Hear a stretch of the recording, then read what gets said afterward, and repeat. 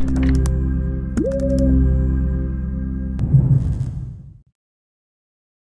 All right. Hello, everyone, and welcome to Data Sharing for Qualitative Research.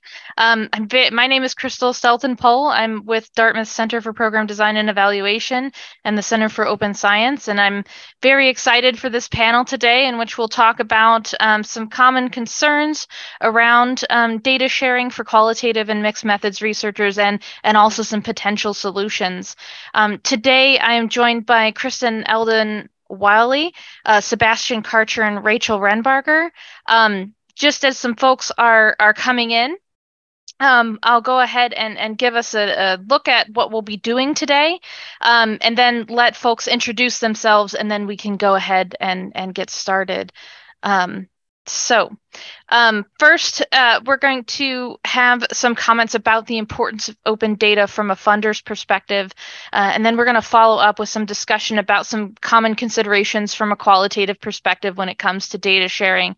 Um, and then we'll talk about some some potential solutions that have come up, and then hopefully we'll have plenty of space um, for folks to ask any questions. Um, there's the chat and also the Q&A function uh, through Zoom. And so feel free uh, while the, the presenters are talking to ask any questions uh, that you may have that come up. And then we will try to answer those during the discussion section and also allow the panelists to, to discuss with one another anything that comes up during the, the panels. So um, with that, let's go ahead and, and let folks introduce themselves. Um, Kristen, why don't we start with you? Sure. Thank you, Crystal. Um, my name is Kristen Eldon Wiley. I am a senior program manager at Templeton World Charity Foundation. Um, so I will be here talking about uh, the funder's perspective of the importance of open data. Um, I, as a part of my senior project uh, program manager role, I'm responsible for um, uh, promoting best practices of open research, both within the foundation and with our with our grantees. Thank you. Uh, Rachel? Hello, everyone. My name is Rachel Renbarger. I am a U.S. education researcher at FHI 360, which is a global nonprofit. I am currently excited to talk to you about open science, mostly because I was trained as a quantitative researcher and then have transitioned to qualitative and mixed methods, uh, right as you know the open science movement was happening. So I have a lot of thoughts from uh, my people and others around this topic. Thanks. Thanks. And Sebastian. Uh, hi, I'm Sebastian Karcher. I'm the Associate Director of the Qualitative Data Repository, and I'm also uh, faculty in political science here at Syracuse University. Um, and so we archive qualitative data, and I also do a lot of work on uh, research transparency and qualitative and multi-method research. Uh, and so I've heard a lot of the concerns that many of you probably arrived at today. And um, I'm not going to dispel them all, but I'm going, I also don't like the word solution. I would maybe have called it approaches to common concerns had I phrased that. Um, and, and that's kind of the perspective that I'll try to uh, provide. Awesome. Thanks, Sebastian. All right. And with that, I will um, I will get off of video and I will um, cede control to Kristen. Thanks. Thanks, Crystal. Okay. Okay. Um, so I'm probably preaching to the choir here a little bit, but um, I'm just going to go briefly over why um, we think that uh, open data is important. So, as a funder, um, we want our research uh, that we fund to have an impact and accelerate discovery. Um, probably nothing new. Um, and we also, but we also want to know that if the research data we fund is, but we also know that if the research data we fund is shared, the potential to accelerate discovery um, grows even larger. Uh, by adding transparency, sharing data enhances trust in other outputs and it increases reproducibility and reuse and makes it easier to get to new discoveries by building on existing knowledge. Um, there's an, also another reason we want data to be, um, uh, the data we fund to be shared, is to increase equity. We want the research that we fund to be available to anyone with an internet access, um, and data sets are part of the research that we fund. Um, go to the next slide. Um, but we also understand that it's not enough just to put the data out there and that there's no point in sharing the data if it's not transparent and reusable. Uh, we know that managing, preserving, and when appropriate, sharing data sets is hard. It takes planning and it takes resources. Um, guidelines, we think, can kind of move us from the values and principles of open data to the practice of open data. It can provide practical tools and training and facilitate and build infrastructure. I don't think there's much impact in saying um, you think it's important, but mapping out how it will be done takes us a step closer to actuality. Uh, we think that guidelines have the potential to provide a push to um, plan appropriately. It can help the researcher determine if they have enough capacity or enough money or enough resources to meet the guidelines for sharing. Um, guidelines also set clear expectations for both sides. Applicants and grantees will understand clearly what we want as a funder. And then once these plans are outlined in an application, the, us as a funder will understand clearly um, how the project team plans to share and manage the data sets. Uh, but um, it's time for me to get off my high horse. Um, as a funder, we can come with a big picture and say all of this, um, but I'm not in day to day managing a pile of data. At TWCF, we fund different projects uh, from hypothesis testing research projects uh, to projects building uh, theoretical models and defining measurements. Uh, and we've heard that pre registering qualitative research projects or sharing quality, qualitative uh, data sets um, may be different than uh, working with uh, quantitative data. Um, we've heard a little bit about the challenges of sharing data and participant consent. How can these two requirements be met in tandem? Um, we've listened to the concern about the challenging the challenge of finding the balance between the context and confidentiality. How can you share enough information um, about a qualitative um, data set so the Reader has enough context, but the identity of subjects is still protected.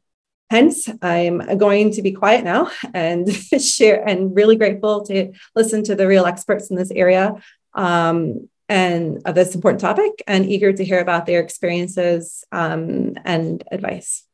Thanks.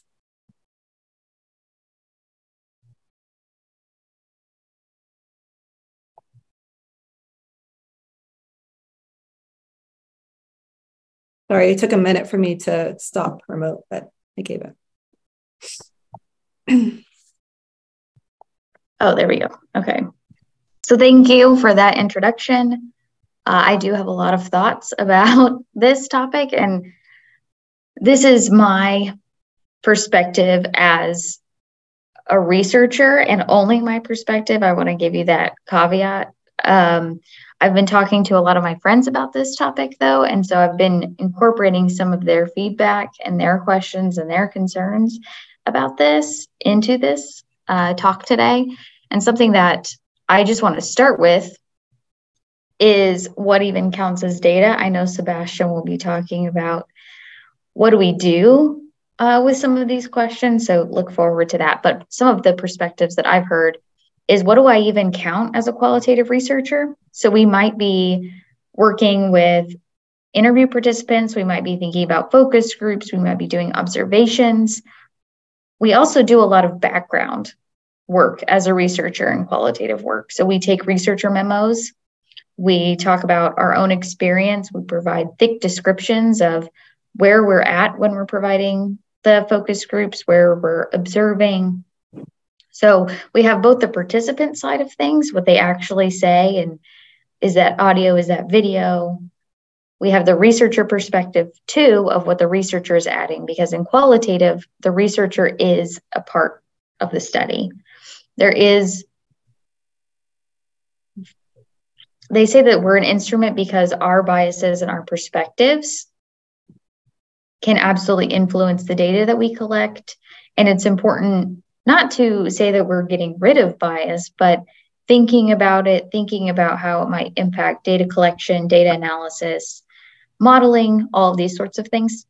And so when we're thinking about doing open data and open data sharing, what am I allowed to put online?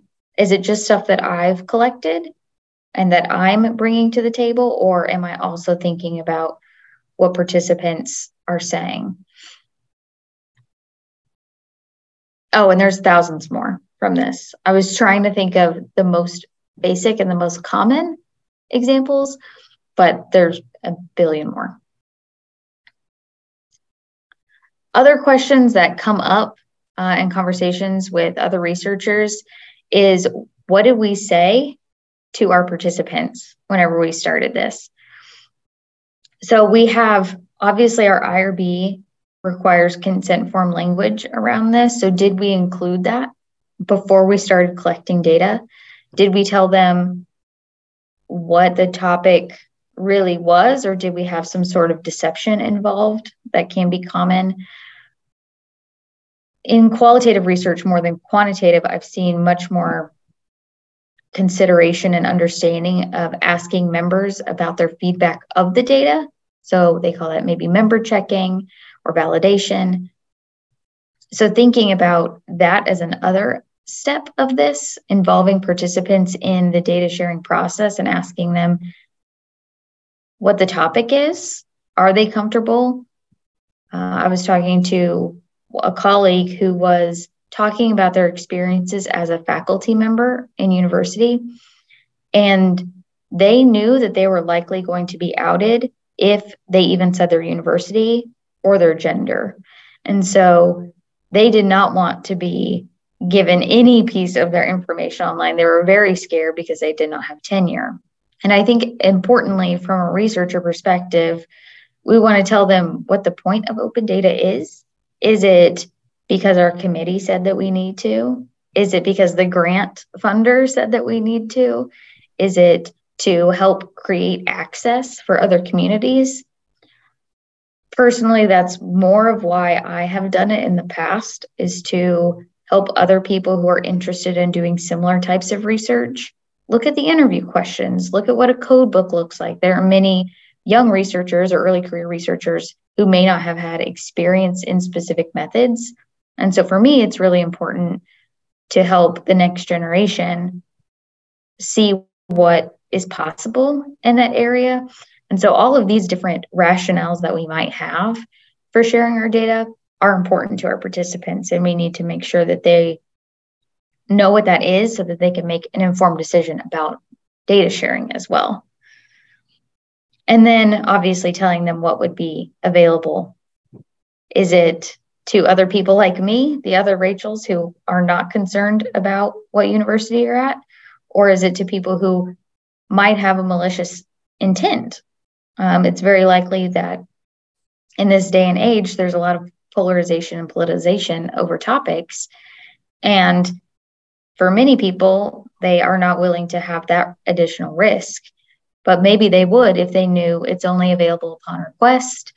Maybe they would if it's not their video, but maybe it's the audio that's being shared. Or maybe it's not the question they're concerned about is not the one that you might actually be sharing. Maybe you're sharing the data about uh, a description of their setting, but not necessarily their experiences with that setting. And so, thinking about what participants might be comfortable with and what you're comfortable with, also, uh, your knowledge and your why, I think are really important here. I want to have a very quick example. Um, this is a video that I pulled from TikTok, one of my favorite places to be whenever I'm unwinding. And this is online footage of a woman in an airport um, pretty recently within the past few months. And so as you start watching, I'd like you to think about if you were going to share this data, what might it look like? What options do you have in terms of communicating what you need to communicate about the essence of the video? Which options might be better for sharing with the public? Would it be transcript? Would it be video? Would it be audio? And then which ones might be best for private use?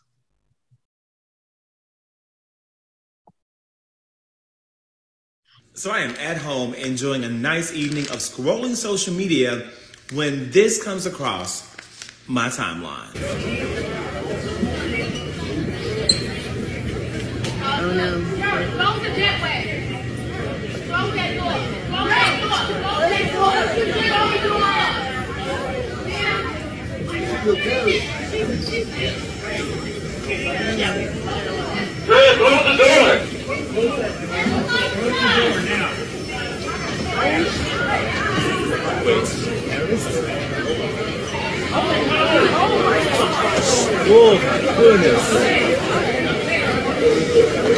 So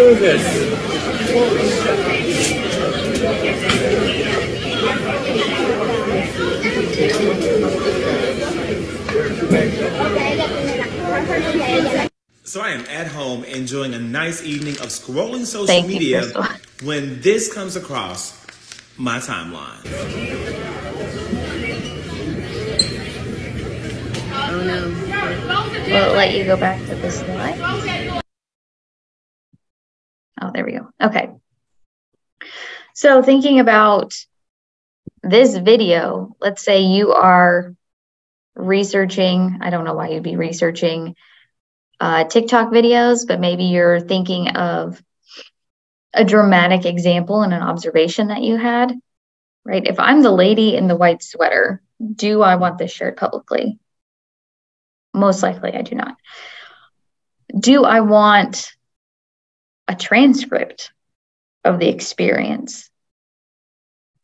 Maybe I would be more comfortable with that.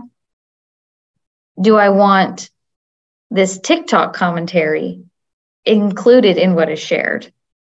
Where a man is eating popcorn is possible entertainment around what may or may not be a very difficult event for this person. So, thinking about what aspects that we share and in which capacity are very important for us to think about before we even bring it to the participants, right? If we have participants who might be going through mental health challenges, political issues, uh, relationship issues, I'm not saying that we can't share anything, right? I think we can be cognizant and propose a solution that provides a feeling of safety and security for our participants. And it might require more work from us to add an additional layer of transcription, um, anonymity, confidentiality. But is that worth your rationale or your why? If it is to make sure that other people trust your study, that might be important to you, but maybe it's not worth the risk of your participants not feeling okay. So, here are just a few examples um, that I thought just spark ideas um, and then pass it over to the expert who can tell us now what do we do uh, with all of these uh, potential problems.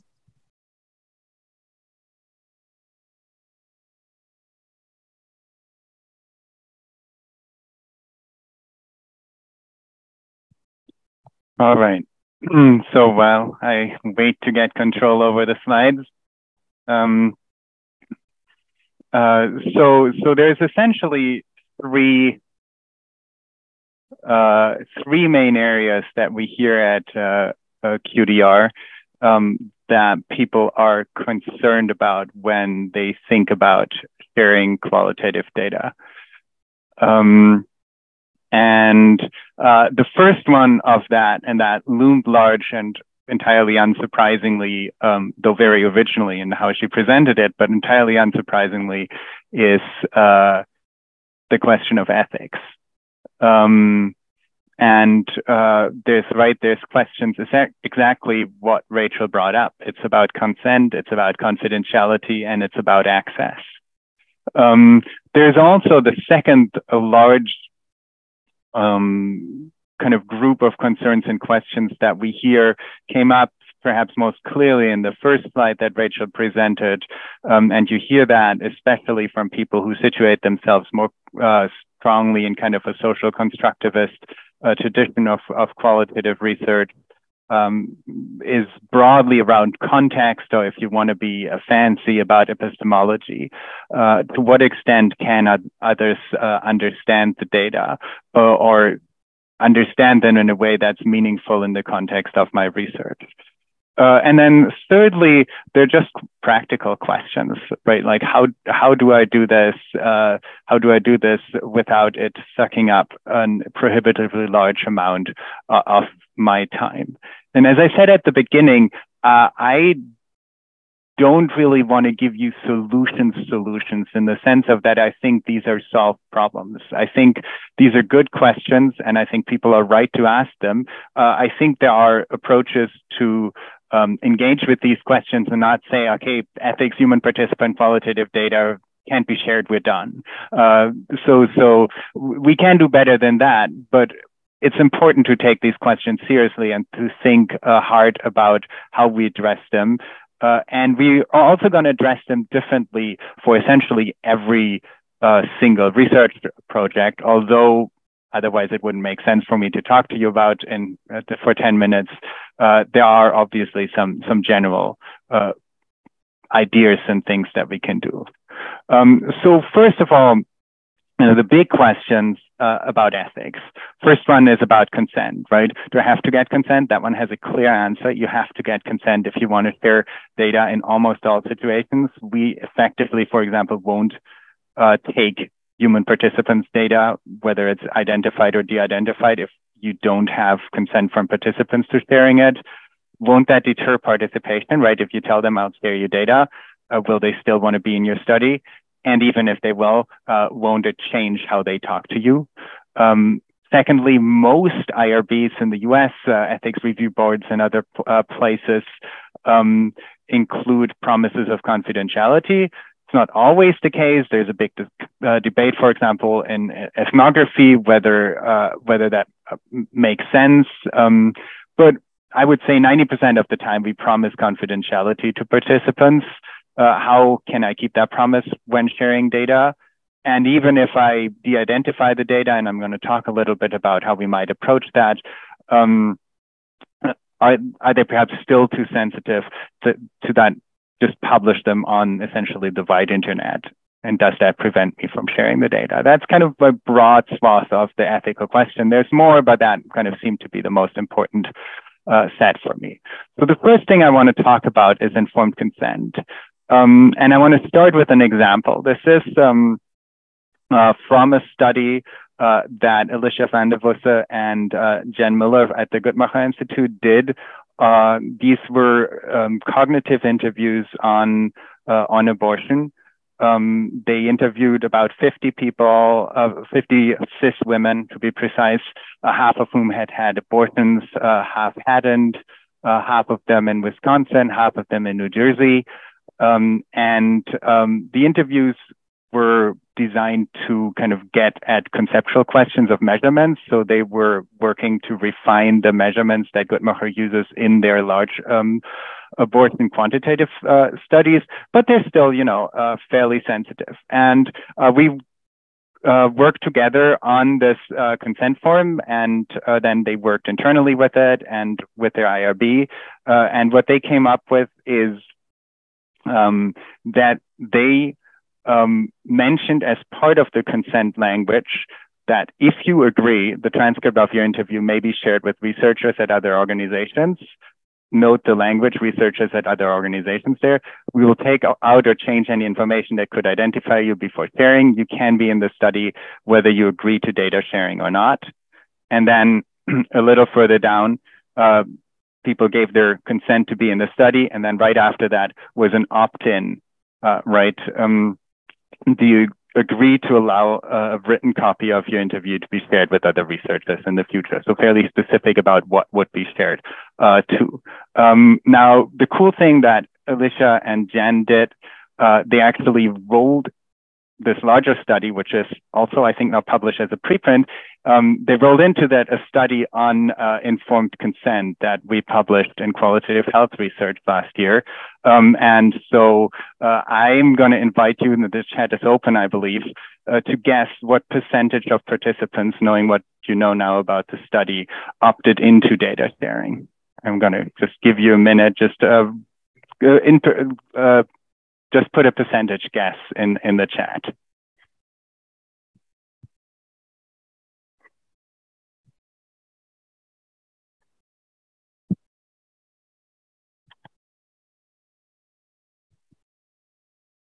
All right. First of all, no one has read my study yet. Uh, go read the paper. But um, so we have estimates all over the place. Uh, I think I saw 10 to 100%. Uh, Vicky, always the optimist. Hi, Vicky. Um, and um, the actual number is 92% uh, of participants opted in, right? And I think um, that is remarkable. Um, and uh, um, shows that um, kind of there is a willingness of participants um, to uh, to to have data shared even on fairly sensitive uh, topics. Um, they were Allegra is asking whether in the chat whether they have had to do two IRBs. They were able to wrap the entire thing into a single IRB uh, application because the informed consent part of the study was fairly short and essentially no risk. So so that didn't actually add up uh, add a lot of overhead. And um, you read the paper, there's actually a lot of uh, some concern that they raise in how well people understand data sharing. So I'm just presenting you part of uh, what they found here. Um, and um, uh, so I do think we need a lot more research on informed consent on data sharing. Uh, and I encourage you to do things like that and better understand if you're asking these types of questions, what participants understand, how they react, uh, etc. This is just one study. It's not the definite final result on on the question. Um, so some uh, some considerations as you craft informed consent. Um, be really transparent about data use. It's about uh, in uh, informed consent um, after all um, but remain intelligible, right? So um, uh, I think, has a rule of thumb that they want to be at a third grade, I want to say, reading level. Um, um, that obviously depends on uh, who you study and uh, who your participants are, right? If you do elite interviews, you probably don't have to do that. If you uh, interview people with uh, very low education levels, uh, you need to uh, adjust accordingly. Um, but uh, you have to say what you're going to do. Don't try to skirt it. Uh, that's unethical. Um, don't go in there expecting that participants are not going to share. A lot of participants and other studies have found that in both quant and qual are very interested and willing to uh, support science. Many, most of the, a lot of the time at least, that's why they're in your study in the first place, why they're volunteering or um, least with the relatively limited amount of money we sometimes offer uh, are in the study. Um, in some cases, they may just trust you. In a lot of cases, they trust you as a scientist. Um, opt-in consent, as I just showed, I think is a really great option, especially for qualitative research um, right? It prevents that uh, risk that you have of people not wanting to be in the study because they have to share their data. So that's good for the validity of your study. It also is, I think, highly ethical to give your participants more agency over the research process and what happens with their data. So it's good in that sense. Uh, IRBs are familiar with that type of thing. It's fairly common med in medical research. There's a reasonably large literature on this that typically refers to this as tiered consent. So with most IRBs, you won't run into problems. Um, sorry for the non-Americans for the IRB language, just you know replaced by ethics board or whatever it's called uh, where you are. Um, what I would say is be careful in using this for quantitative studies because having people individually opt out of a quantitative data set ruins your uh, computational reproducibility of your data. Uh, so I've done this once for a survey and I've uh, regretted it. Um, but for qualitative data where we don't run, you know, computational reproducibility in the first place, I think it's it's really terrific in a lot of situations. Um, confidentiality, right? Um, what we actually see is that it's exceedingly rare for um, interview or even audio data of qualitative studies to be shared. There are a couple of examples, and they tend to be uh, highly restricted. ICPSR, for example, has a large classroom uh, study with lots of videos. Um, and that's quite difficult to get access uh, and approval to and uh, only through the virtual enclave, etc. So it can be done, but most shared qualitative data that we have is in textual form, which makes it, of course, much more realistic to de-identify. There is, depending on the type of research you do, of course, a loss of richness uh, there. Um, if you're de-identifying uh, qualitative data, uh, I have a couple of, of general uh, guidelines here. I'm just going to kind of uh, let you read through this. Um, I'm happy to answer more uh, questions on that. One thing that I want to highlight, though, is that there really is is a balance, right? There is no hard and fast rules. You have to do that. You have to do this. Um, you have to kind of think about how much can I take away keeping the data as a valuable rich resource and how much do I have to uh, put away um, how, how much have, do I have to take away for it in order to be de-identified? Uh, thinking about this uh, a little bit further, um, I often think of data is kind of a two, two by two spectrum between identifiability and risk. And those don't necessarily go hand in hand, right? So identifiability is how easy would, might it be to identify uh, people from the contextual information that is often enriched qualitative transcripts. And the other part is how sensitive is the information. And so to take go back to to a study, for example, a qualitative study on abortion, given the uh, debate in the U.S. Uh, it's quite sensitive, right? The risk is fairly high, especially for people with abortion histories. Um, but since there are so many people with abortion uh, histories, if you um, interview fairly randomly sampled people with abortion histories, it's relatively easy uh, to de-identify that data properly.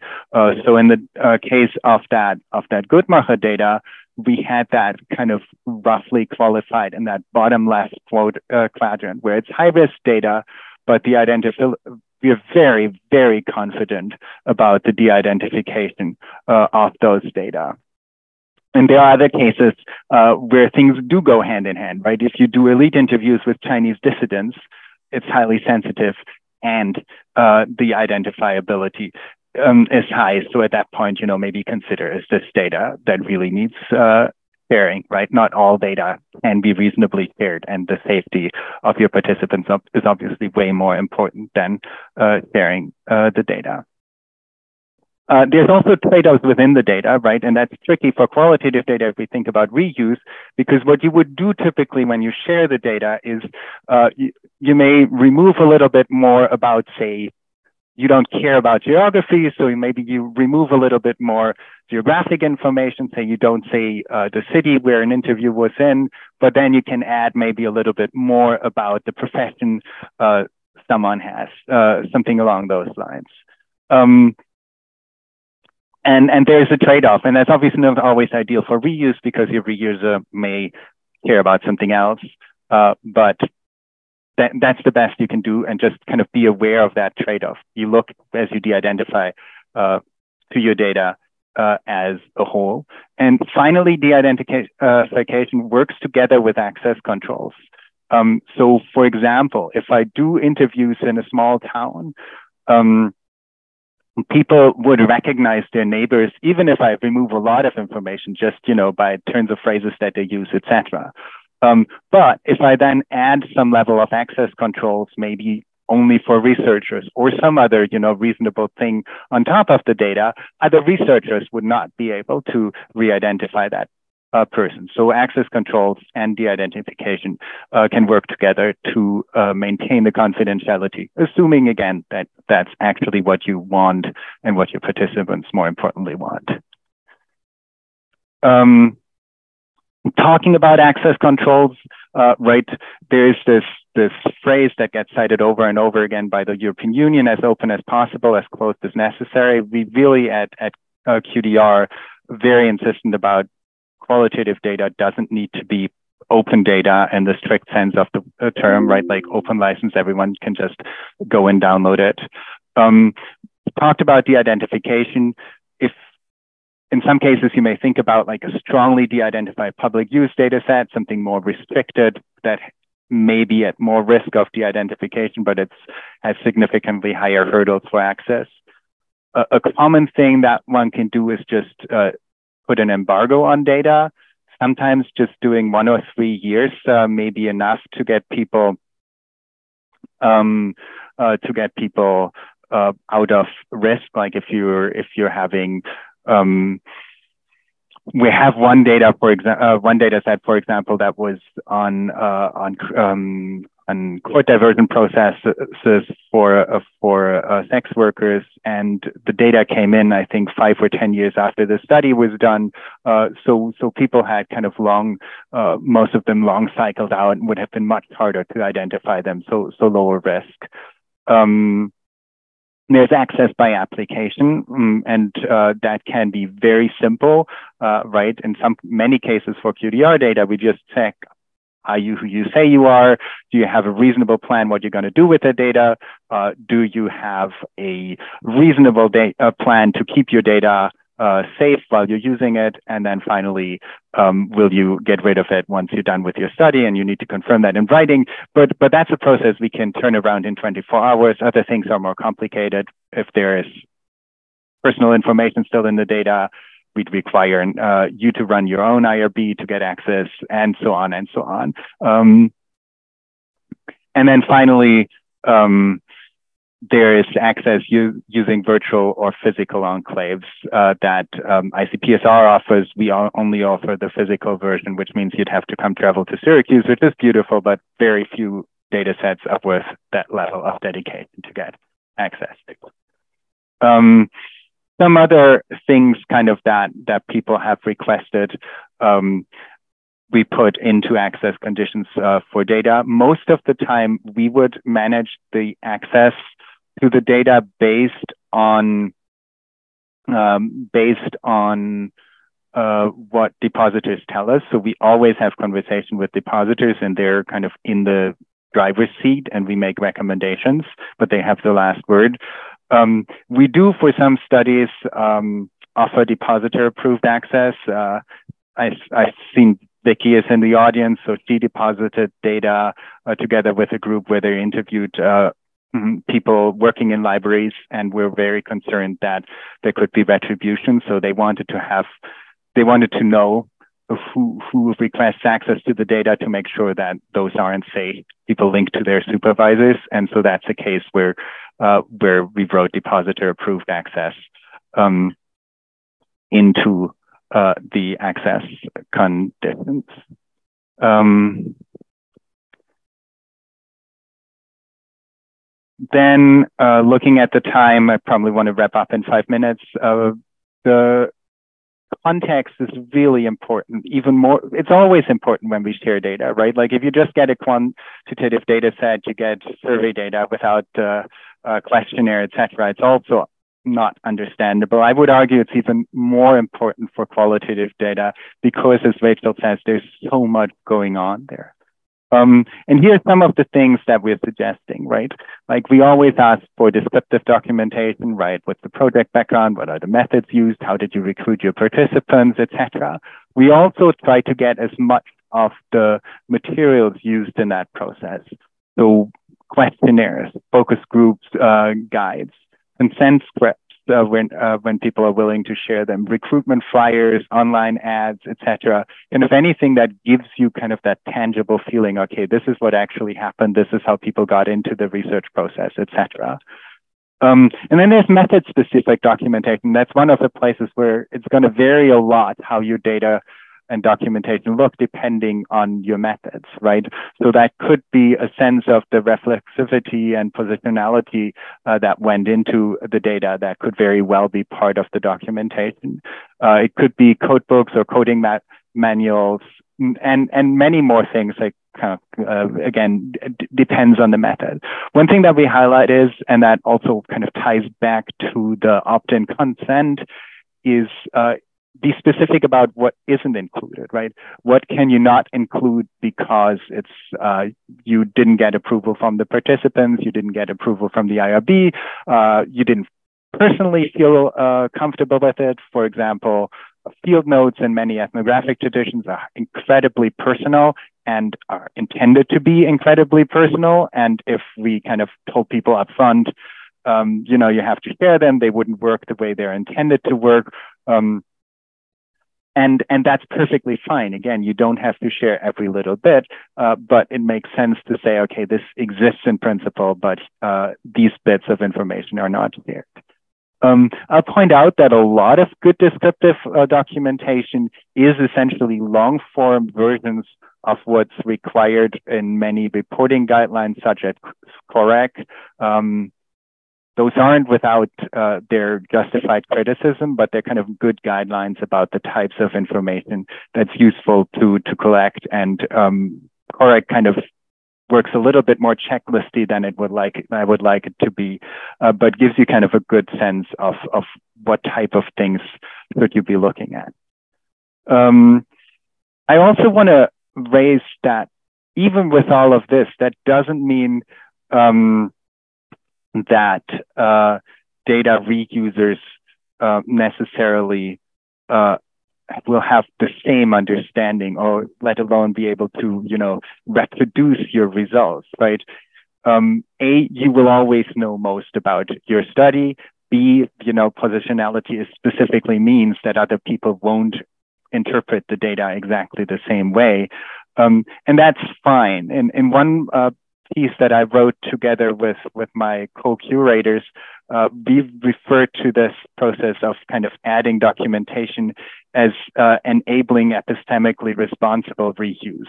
So this idea that we put people in a situation where they can make an informed judgment about what they understand about the data and what they don't understand and can reuse it responsibly. You won't be able to do the same study, but you may still be able to do interesting uh, work if you have enough context and also if you know what context and what additional information that was present for the original researcher is not in your study.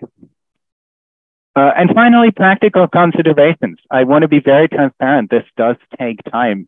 Uh, if you have rich qualitative interviews and you have 50, 60, 70 interviews, de-identifying them uh, takes time. And there is no, you know, um, there there is uh, ways to expedite it a little bit. People are developing kind of machine learning based tools, but even the most kind of optimistic of those tools uh, say you know, this is a human in the loop to, uh, tool. So, so you have to accept or reject um, every option. Um, you can make it easier, right? Um, and I've seen a lot of data librarians in uh, the audience. Uh, they're the type of people who you consult about uh, how can I uh, build something like data sharing into my process? Uh, how can I do good data management? Those sorts of things. Um, so talk to your local uh, data librarians. Um, you can also come talk to us, but local resources are awesome. Um, so things that could include is think about de-identification right during kind of your first pass through the data, kind of take some notes uh, on that so you don't have to have an entirely separate read through all your transcripts for de-identification. Um, think about, you know, how am I going to share this as you manage and organize uh, your files, kind of think through the entire process as you set up your original organization. Uh, so, so it's relatively straightforward to pull out uh, the files uh, that you're eventually going to share. Very importantly, for all sorts of purposes, uh, don't uh, procrastinate on the documentation. Write things up as you uh, do your research, both again for your own sake, but also because it will make the documentation easier to create uh, in the end. And then importantly, make sure that the various things that you're planning to do uh, and promising various entities like your funder and your IRB uh, actually match, right? We've seen less of this now, but we still occasionally see people promising one thing in a data management plan and another thing in an IRB. And that's obviously a bad situation. You have to go with the IRB because ethics trumps um, transparency in that case, uh, but it's a bad look if you made a promise to your funder um, and you can't comply with it because uh, you made a different promise to your participants.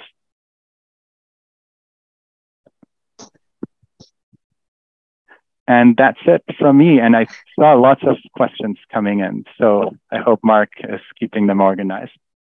Yeah. Uh, really briefly, before we get into that, I, I have a quick commercial break, and then I'd love to stop sharing my screen so that um, folks can focus on the panelists. Um, on March 9th and 10th, uh, we have the Open Scholarship Practices and Education Research on conference again. Uh, registration is open for this. It's a free virtual uh, conference. So, for folks that are interested in learning more about open science practices in the social sciences, but especially in education research, um, please uh, take a look at the website and see if you'd like to join us for that. Um, and with that, um, let's stop the share. And um, yes, Mark, if you could start us off with uh, some questions. Yeah, so we ended up getting two main questions that were in the chat. First is in timed embargo, is it common to have the data sharing be timed differently from the time of publication? Or would the timed embargo include the time of publication? And I think that was directed to Sebastian. Yeah, so um, that really depends. And I think time, uh, and I mean, time of publication, I assume that's the time of publication of the associated work. And so how an embargo looks like is that the metadata, right, uh, is public. So you see, okay, there is this study and it has these files and the files have kind of a clear label that say won't be accessible until January 2024 or, or something like that. That's how uh, this typically works. Uh, whether that's acceptable for a publication, most journals currently don't have super strict rules for sharing qualitative research. So for most purposes, it probably would be okay. If you want to publish in PLOS, uh, which has strict rules, it probably won't be. Uh, so, so that's kind of the, the rough guidance uh, on that. Uh, publishers you'd have to talk to. Most publishers kind of want their data published sooner rather than later. But if you can make a good case and it's right? Like we typically kind of say like 12 months is reasonable if it's just, you know, for your own sake, you want to get your publications out. If you want to go longer, uh, it should probably have another reason, like an ethical reason why you can't share it yet. Awesome, thank you. We have another question from Agnes, which actually generated a little bit of conversation. Her question was the opt-in consent form asked about sharing the data with other researchers. But how do we know that other researchers would access, I mean, excuse me, that only other researchers would access the data? Couldn't anyone get access and then use the data against someone? Like, for example, if the participant shared negative perceptions of their employer, the employer can seek out the data. Um, Katie Corker, who is our one of our colleagues, responded that some repositories have a gating process so that other researchers must authenticate prior to access and use ICPSR for an example. I didn't know if you guys wanted to elaborate on that or give any thoughts. Um, yeah, so every repository handles this somewhat differently. Um, but so if you specifically say other researchers, you should that should, in my opinion, be reflected in how you share the data. So the data uh, of that study are actually shared on QDR. Um, and we have access conditions, uh, access controls on those. So if you want access to the data, uh, you need to uh, essentially fill out a form, tell us uh, how you're going to use the data, uh, also sign a contract that um, binds you to destroying the data and not sharing it with anyone else, uh, right? So you can't kind of uh, distribute it on.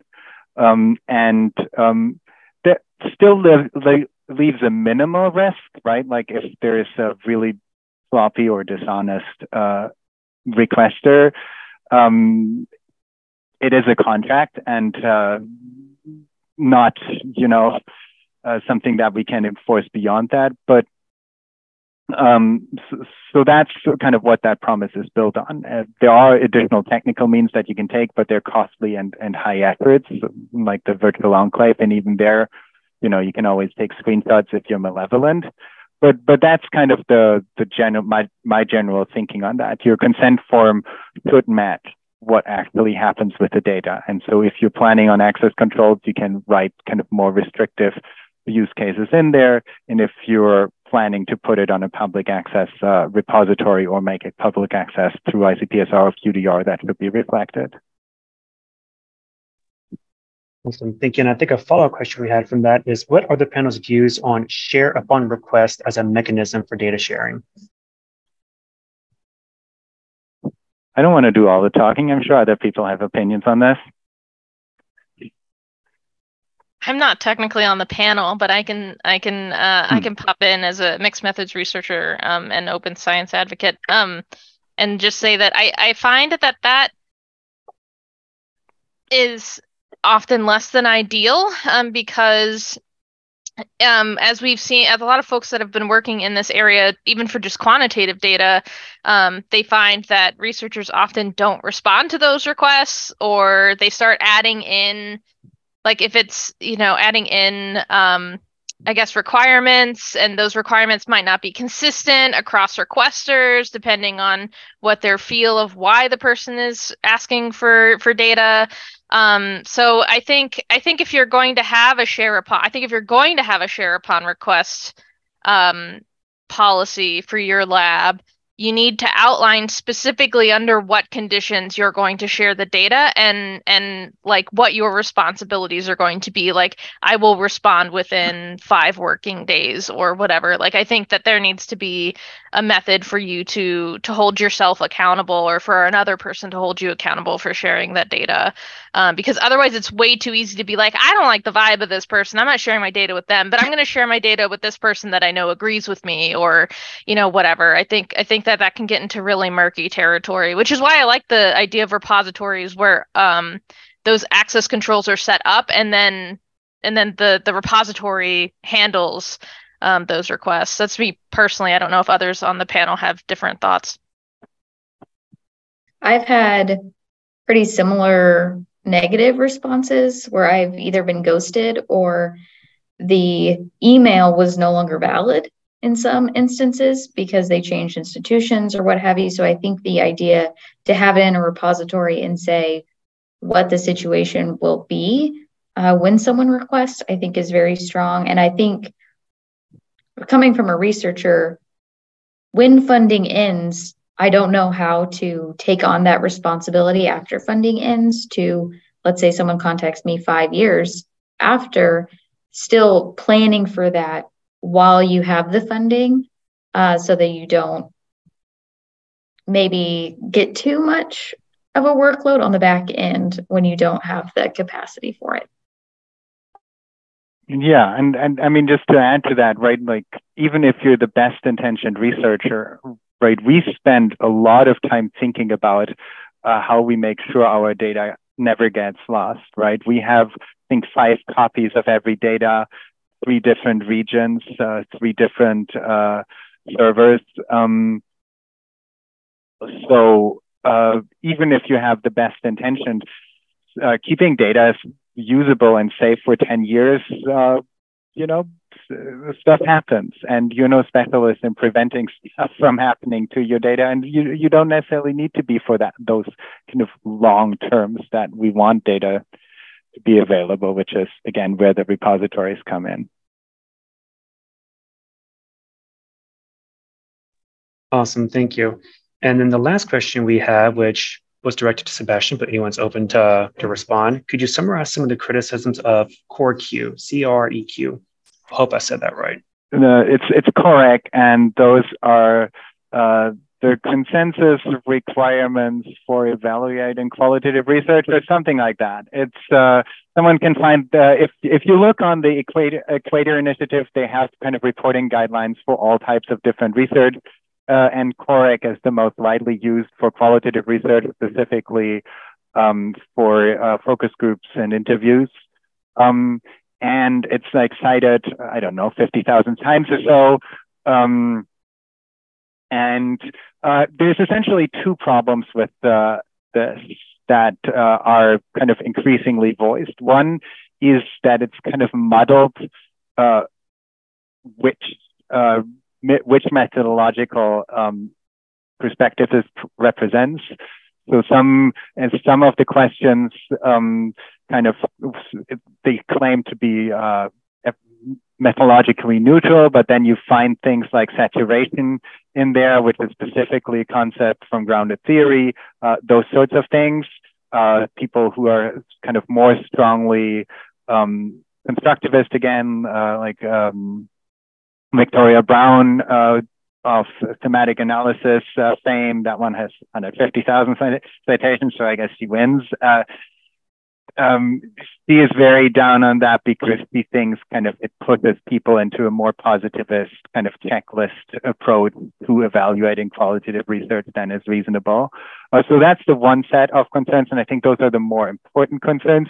There's also a recent article, and I'm sorry I don't have the uh, citation right here, but uh, that try to replicate what they claimed they did in terms of uh, find. So what they how they arrived at their criteria is essentially sort of systematic review, um, where they claim to search all sorts of criteria that people um, used and then use uh, kind of a, a, coding and collapsing process to come up with their 32 uh, points. And they try to replicate the even just the search strategy, uh, and that fell apart completely. And hard, hard to judge from the from the outside I didn't, you know, try to then re-replicate this, uh, but was a fairly compelling criticism of, of the methodology of arriving uh, at the um, uh, at the those 32 guidelines and our, our checklist points in the first place.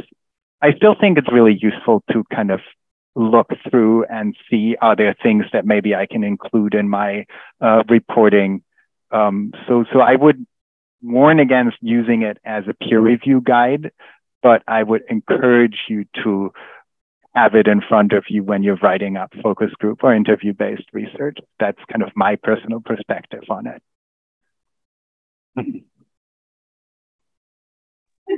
Awesome, thank you. And that was the last question that we had in the chat. Were there any questions that we had from our panelists to each other? Since you guys come from different backgrounds, throw it back to you. I have a, a question. Um, just uh, Sebastian, your uh, talk uh, and your presentation it was very informative, but it just makes me wonder if there's a guide that exists uh, that qualitative researchers can uh, use and access easier than maybe this like webinar recording, or are there any kind of support uh, system that? Uh, yeah, there's various options. So, um, and and I know there's a bunch of expertise in the audience, so please put your favorite uh, resources uh, that I'm not thinking of right now in the chat. Um, so one that we created is uh, is uh, the, that website managing qualitative data uh, that we created for the SSRC for their then still existing International Dissertation Research fellowships uh, doctoral uh, students, and that essentially ha- goes through the entire research process uh, about managing data, but has a dedicated module on data sharing that has a lot of the things uh, I talked about today covered with exercises and further resources, etc. So that's uh, one kind of nicely comprehensive uh, place to look. Um,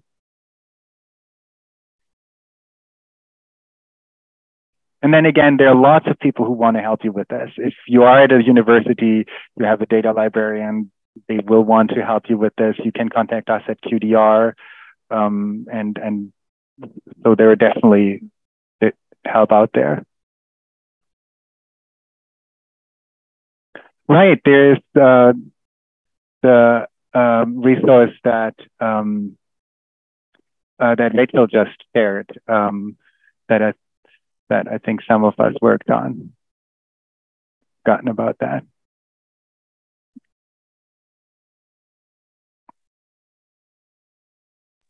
Awesome. Thank you. So back to you, Krista. Yeah, awesome. Thank you. Thank thank you panelists uh, for coming today for sharing this. It I always really enjoy webinars like this because I feel like even though I'm I'm steeped in a lot of these conversations, I always learn something new. So thank you for sharing, um, audience members for sharing papers, um, and for the panelists for sharing your expertise. Um, it's great to know that funders are paying attention to these conversations and that um, people are open to having talks about how people manage different kinds of data and the different kinds of of concerns and questions and considerations that qualitative researchers um, have when when trying to engage in open science practices. So thank you all, um, and um, we really appreciate you guys for coming out today. This was an excellent audience. Thank you for all of your questions. And a video will be provided on the YouTube channel for the Center for Open Science uh, with a recording of this webinar. So if you missed parts of it, um, it's definitely here. You want to reference it back or share it with friends. Thank you all for coming. Thank you. Thank you, everyone. Bye.